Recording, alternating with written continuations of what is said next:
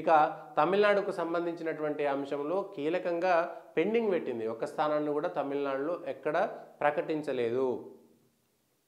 అదేవిధంగా కొంతమంది కేంద్ర మంత్రుల్ని ఇటు తమిళనాడు నుంచి అటు కర్ణాటక నుంచి పోటీ చేయిస్తారనేటువంటి చర్చ జరుగుతున్న నేపథ్యంలో తమిళనాడు మీద నరేంద్ర మోడీ ప్రత్యేకంగా అమిత్ షా నరేంద్ర మోడీకి తమిళనాడు మీద ఒక ప్రత్యేకమైనటువంటి హోప్ ఉన్నది. వాళ్ళకు ఒక ఆశ ఉన్నది. తమిళనాడును ఇంకా గట్టిగా మనం చేసుకోవచ్చు. అక్కడ ఉన్నటువంటి ముప్పై తొమ్మిది స్థానాల్లో బలం పెంచుకునేటువంటి ప్రయత్నం చేశారు. ఇప్పుడు రెండు శాతం మూడు శాతం ఐదు శాతం ఉన్నటువంటి భారతీయ జనతా పార్టీ ఓటింగు ఏ సర్వే చూసినా అది టైమ్స్ నో సర్వే చూసినా ఆజ్ తక్ సర్వే చూసినా లేదంటే తమిళనాడు పార్టీల తమిళనాడు ఛానల్స్ సంబంధించిన సర్వే చూసినా ఒక ఐదారు సర్వే సంస్థలు చేసినటువంటి దాంట్లో వచ్చినటువంటిది ఏంటంటే భారతీయ జనతా పార్టీ సొంతంగా తమిళనాడులో పదిహేను శాతం ఓటింగుకు పెరిగింది అని. నాలుగు ఐదు శాతం ఉన్నటువంటి బీజేపీ తమిళనాడులో పదిహేను శాతం పెరిగింది. సో ఈ పదిహేను శాతము ఓవరాల్గా రాష్ట్రంలో ఉన్నటువంటి ముప్పై తొమ్మిది స్థానంలో విస్తరించి ఉన్నటువంటిది.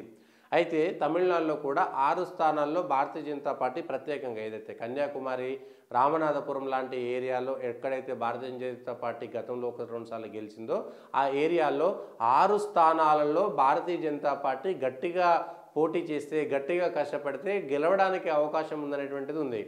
ఈ నేపథ్యంలో రెండు వేల పద్నాలుగులో నరేంద్ర మోడీ అటు గుజరాత్ నుంచి ఇటు వారణాసి నుంచి రెండు చోట్ల పోటీ చేశారు. ఈసారి నరేంద్ర మోడీ వారణాసిలో ఆల్రెడీ పోటీ చేస్తున్నారు. వారణాసితో పాటు వారణాసికి సంబంధం ఉన్నటువంటి రామేశ్వరంలో కూడా నరేంద్ర మోడీ పోటీ చేస్తారనేటువంటిది ఒక చర్చ జరుగుతున్నది. నరేంద్ర మోడీ తమిళనాడులో పోటీ చేస్తే ఐదారు స్థానాలు పదిహేను శాతం ఓటింగ్ కాస్త ఇరవై ఇరవై ఐదు శాతానికి వెళ్ళిపోతే సొంతంగా అక్కడ ఉన్నటువంటి ఇప్పటికే కాంగ్రెస్ ఎమ్మెల్యే అన్నాడీఎంకేకి సంబంధించినటువంటి ఎమ్మెల్యేలు మాజీ ఎమ్మెల్యేలు పంతొమ్మిది ఇరవై మంది కీలకమైనటువంటి నాయకులంతా కూడా భారతీయ జనతా పార్టీలో చేరారు. ముప్పై తొమ్మిది స్థానాలకు ఇంకా రెండు వేల ఇరవై ఆరులో తమిళనాడు లక్ష్యంగా పెట్టుకొని అన్నామలై పనిచేస్తున్నా అన్నామలై చేస్తున్నటువంటి పాదయాత్రలకు తండోపతండాలుగా ప్రజలు వస్తున్నా కూడా ద్రవిడ వాసనలు ఉన్నటువంటి తమిళనాడులో ఆ రాజకీయాల నుంచి పక్కకు పోయేటువంటి ప్రయత్నం జరుగుతున్నది. సో తమిళనాడులో ఈ తొంభై నూట తొంభై సీట్లు ఇవ్వడం అనేటువంటిది సంచలనం. నిజానికి భారతీయ జనతా పార్టీ ఒకేసారి ఇంతమందిని ప్రకటించదు బట్ ప్రకటించేసింది అందులో ఎన్నికల షెడ్యూల్ రాకముందే భారతీయ జనతా పార్టీ వెళ్ళిపోయింది. సో ఈ తమిళనాడుకు సంబంధించిన దాన్ని మాత్రం ప్రత్యేకంగా హోల్డ్ పెట్టారు.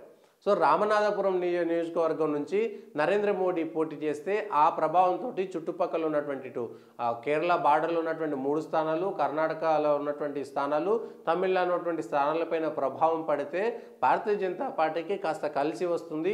ఒక పది పన్నెండు సీట్లు ఎక్కువగా అదిలో దక్షిణాదిలో బీజేపీ గెలవదు తమిళనాడులో గెలవదు అనేటువంటి ఒక అపప్రద పక్కకు పోయి బీజేపీకి ఒక ఆశాకిరణంలాగా ఉండేటువంటి అవకాశం ఉందనేటువంటి ప్రయత్నంలో భారతీయ జనతా పార్టీ ఉన్నట్టుగా మనకు తెలుస్తున్నది సో కాబట్టి ఏం చేస్తారు అనేటువంటిది చూడాలి. ఈ నూట తొంభై ఐదు